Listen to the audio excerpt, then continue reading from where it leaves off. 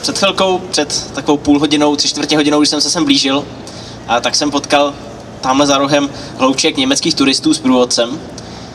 A neumím sice moc dobře německy, ale tomuhle jsem rozuměl.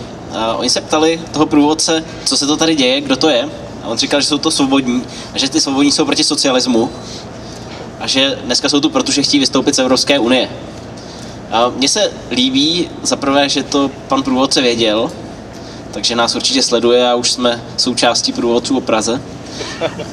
A za druhé se mi líbí, jaké zvolil pořadí toho, co jsme, pro co jsme a proč jsme tady dneska. My jsme proti socialismu a to je to hlavní. A proto chceme vystoupit z Evropské unie. Protože žádný velký moloch... Naschranou.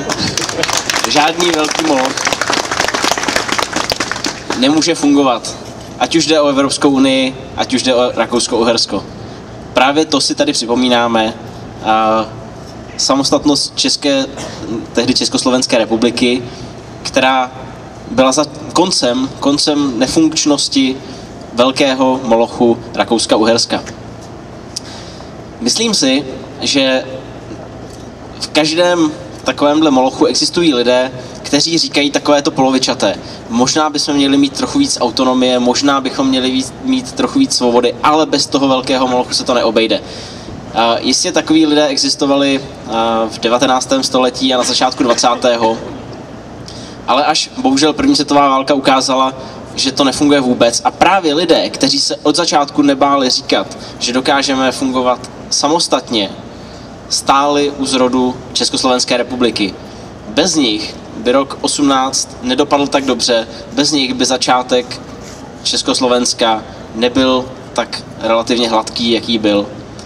Já bych byl velmi rád, kdyby nyní, po 100 letech, v roce 2018, jsme mohli být opět samostatní, opět ne polovičatě jako nějaká částečná autonomie, ale abychom si plně vládli sami. A myslím si, že to, co k tomu potřebujeme, je věřit si, že to dokážeme a být na to připravení. Říkat od začátku, že to dokážeme. Děkuji.